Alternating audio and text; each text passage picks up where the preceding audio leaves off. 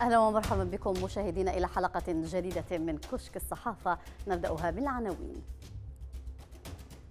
المواقع المحلية عمرها أربعون عاما أغنية لا تزال قادرة على إسعاد اليمنيين. وفي الصحافة العربية مزارعو ابين يشكون عبث الانتقال بمحاصيلهم. ومن أخبارنا المنوعة صاروخ أمريكي لنقل رواد فضاء هل أنهى الهيمنة الروسية؟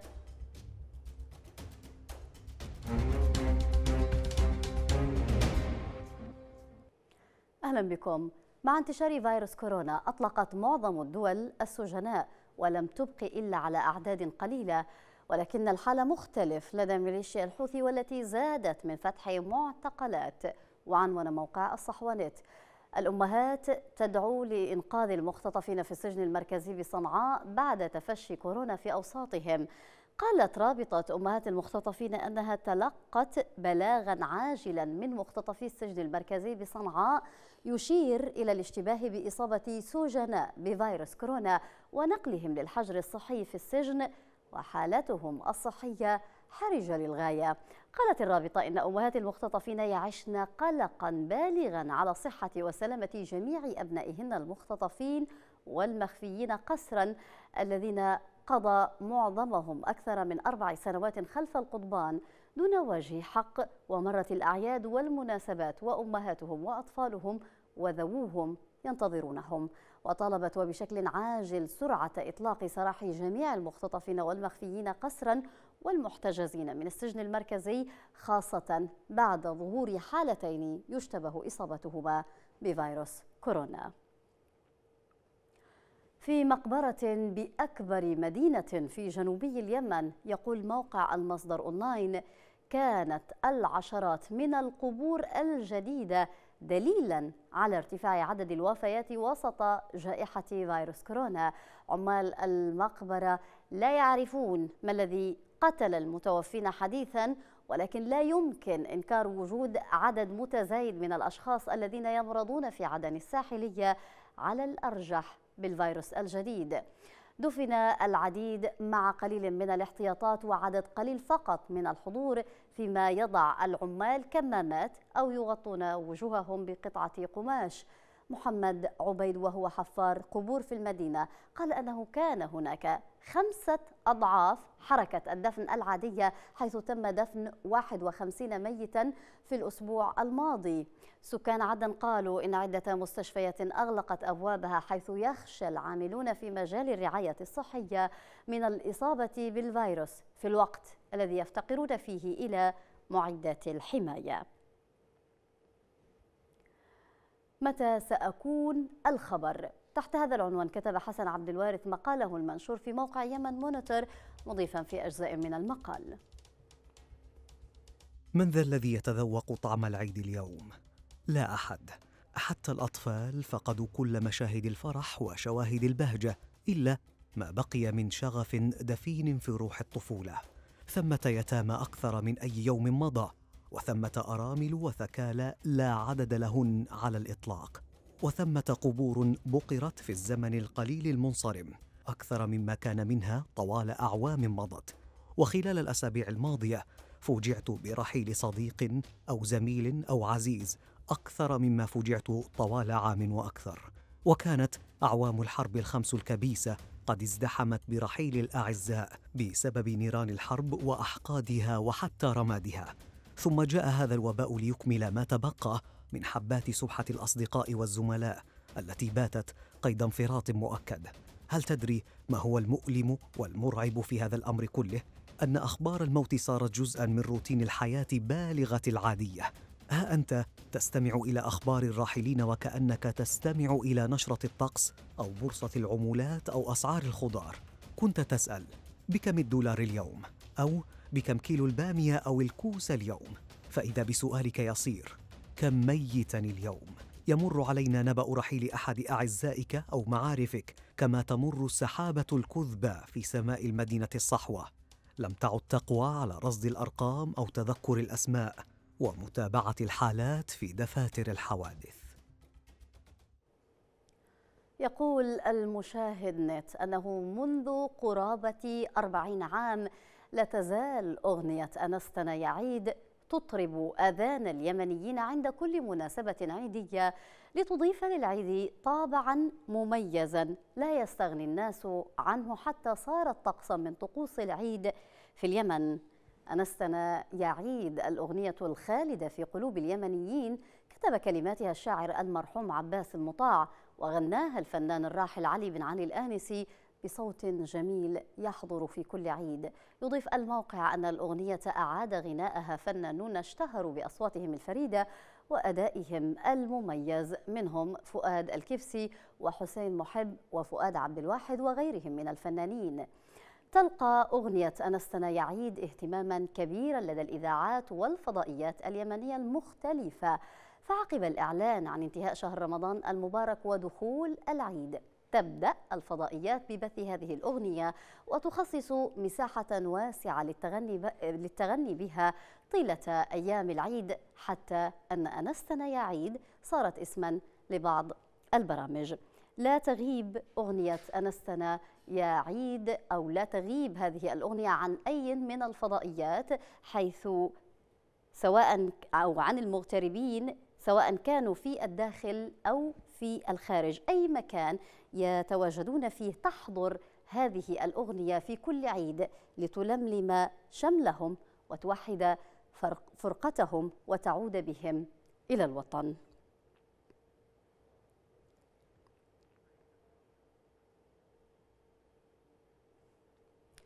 تكتم الحوثيين على تفشي كورونا تمهيد للموت والمعاناة مع حلول العيد. تحت هذا العنوان كتب نائب المدير التنفيذي في مركز صنعاء للدراسات الاستراتيجية أسامة الروحاني. مقاله المنشور في موقع مركز صنعاء وجاء في جزء من المقال. قال عاملون في مجال الرعاية الصحية بالعاصمة إن الفيروس وصل إلى شمال اليمن قبل شهرين على الأقل غير أن سلطات الحوثيين لم تعلن عن أي إصابات مؤكدة في المناطق التي تسيطر عليها حتى الخامس من مايو آيار. استمرت سلطات الحوثيين بنفي انتشار الفيروس وأغلقت العديد من الأحياء بشكل عشوائي وغير منظم وانتهجت الرد بقوة عسكرية على الحالات المشتبه بها. اصطحب رجال مسلحون الأطقم الطبية وداهموا منازل الأشخاص المشتبه إصابتهم. وفي بعض الأحيان تمركز مسلحون حوثيون خارج منازل المصابين بالفيروس لفرض حجر صحي. وهذا خلق خوفا لدى المواطنين من الإبلاغ عن الأعراض وأدى أسلوب الحوثيين في التعامل مع المصابين إلى وصمهم بالفيروس وجعل نظرة الآخرين لهم كمتهمين بأمر مهين.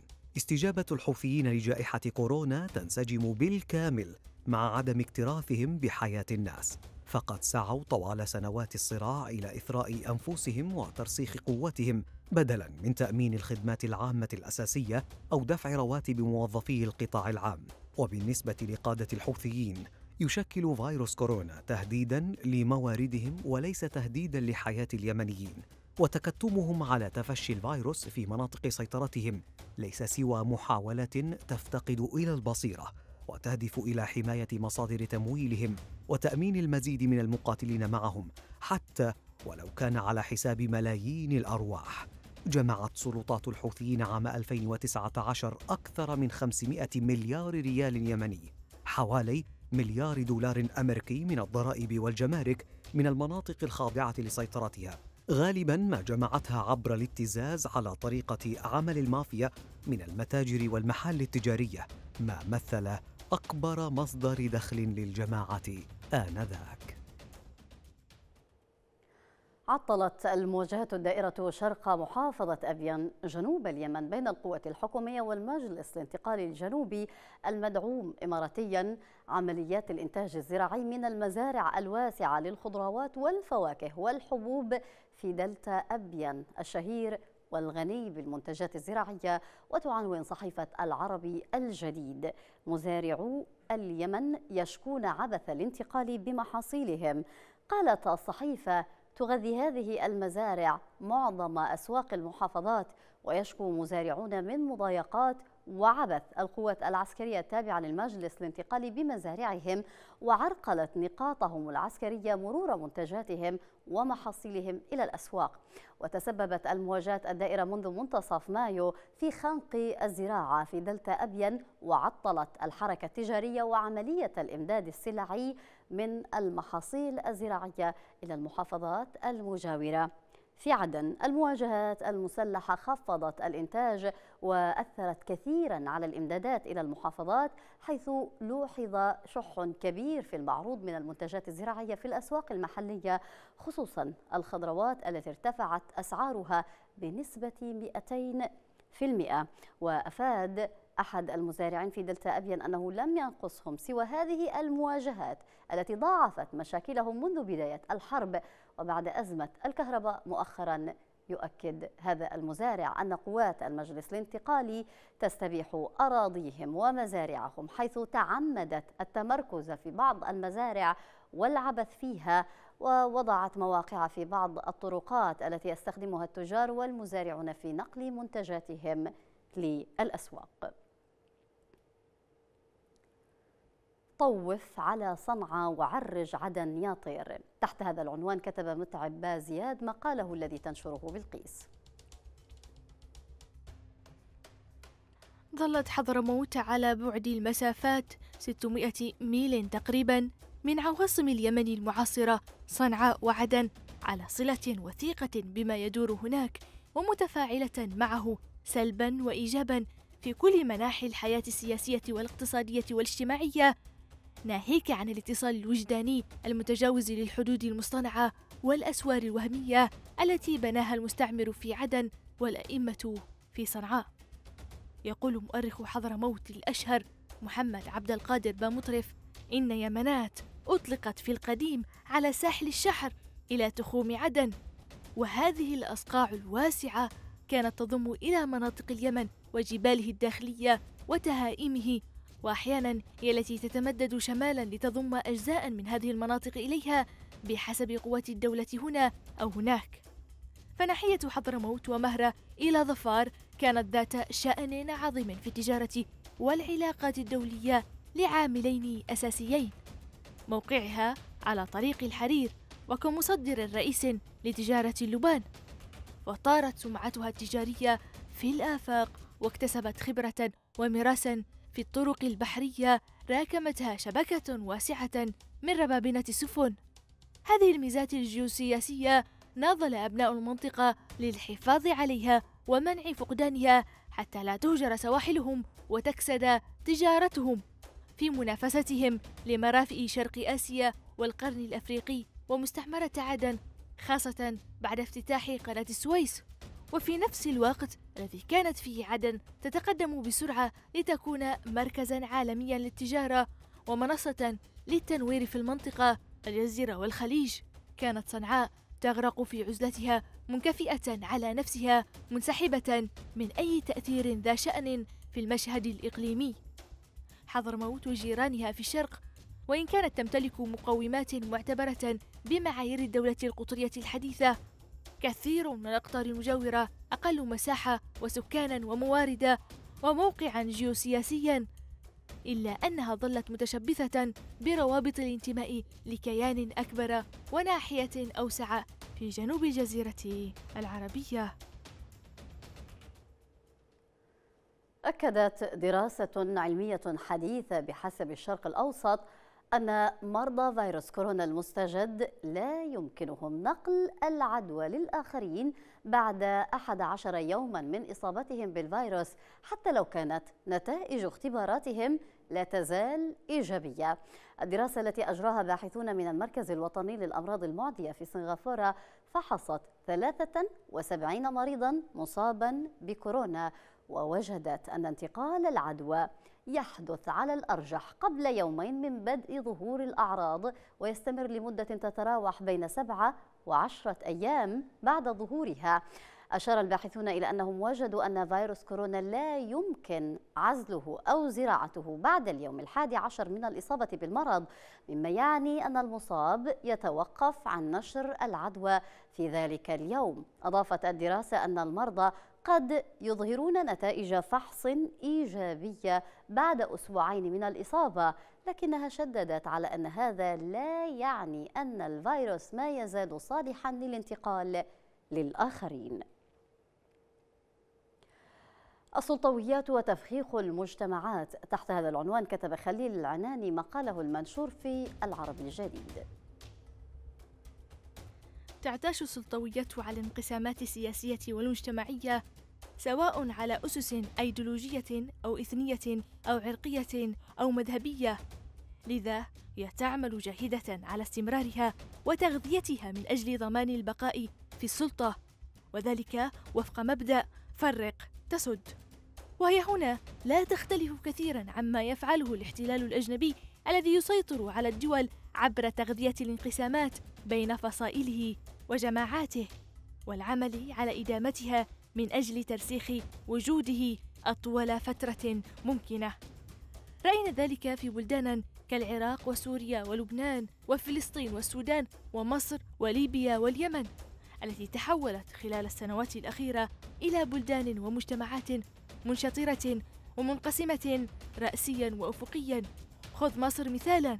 منذ جاء النظام الحالي إلى السلطة عبر انقلابه المشؤوم في يوليو تموز 2013 وهو يفخخ العلاقات السياسية والمجتمعية عبر كل الوسائل المشروعة وغير المشروعة.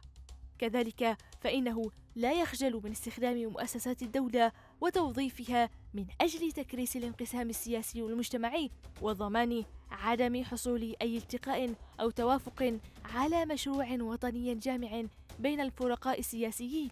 يمكن أن ينهي الحالة البائسة التي وصلت إليها البلاد. ولن تجد سياسة تدفع باتجاه الانقسام وتغذيته وإدامته إلا وقد اتبعها هذا النظام من أجل بقائه في السلطة. استعدت جميع الأنظمة لعملية إطلاق أمريكية تعد بشيرا بعهد جديد في استكشاف الفضاء وعلى مدار تسع سنوات كانت مركبات سيوز الروسية السبيل الوحيد للوصول إلى المحطة الدولية والتي كانت تمولها الولايات المتحدة بشكل رئيسي ويعنون موقع ال DW الألماني. صاروخ أمريكي لنقل رواد فضاء هل انتهت الهيمنة الروسية؟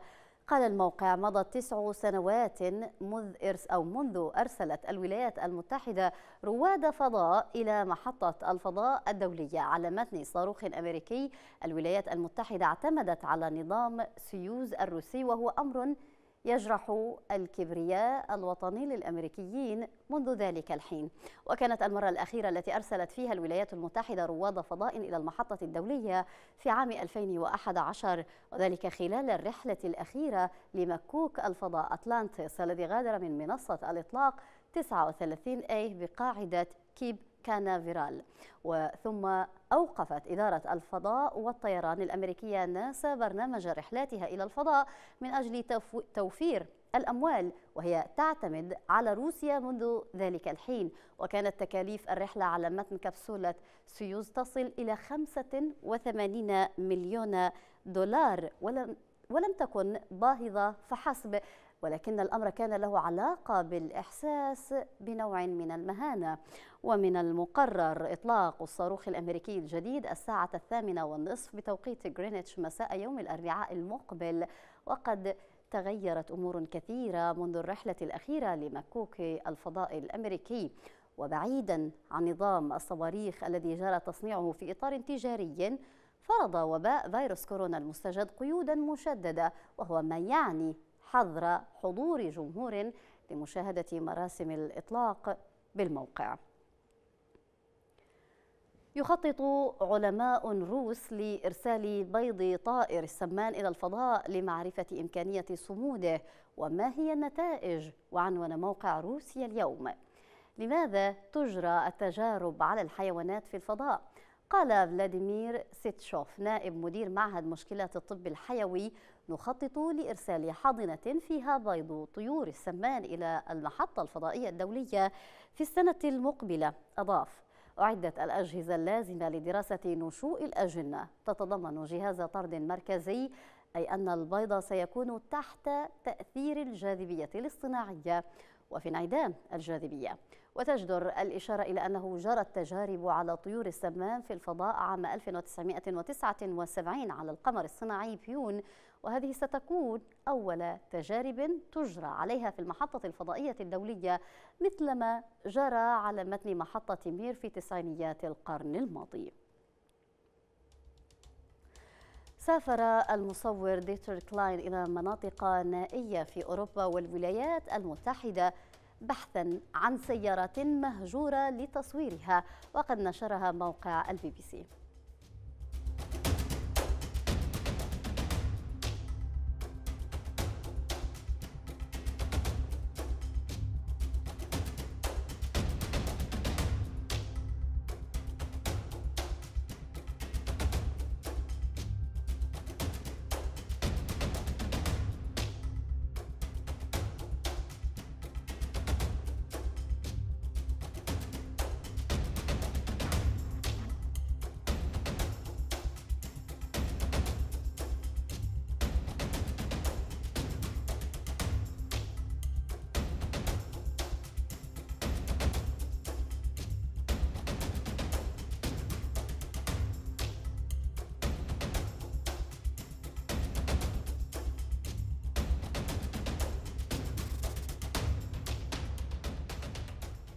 عدد من رسومات الكاريكاتير التي نشرتها الصحف والمواقع نتابعها في آخر جولة من حلقة اليوم.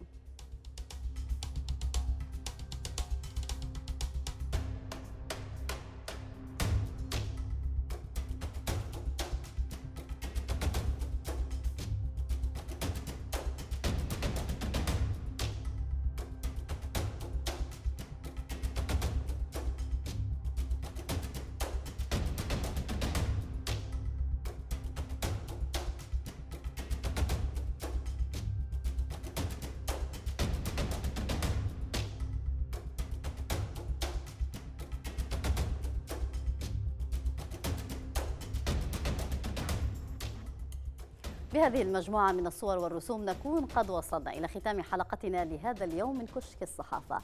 نلقاكم غدا بإذن الله. إلى اللقاء.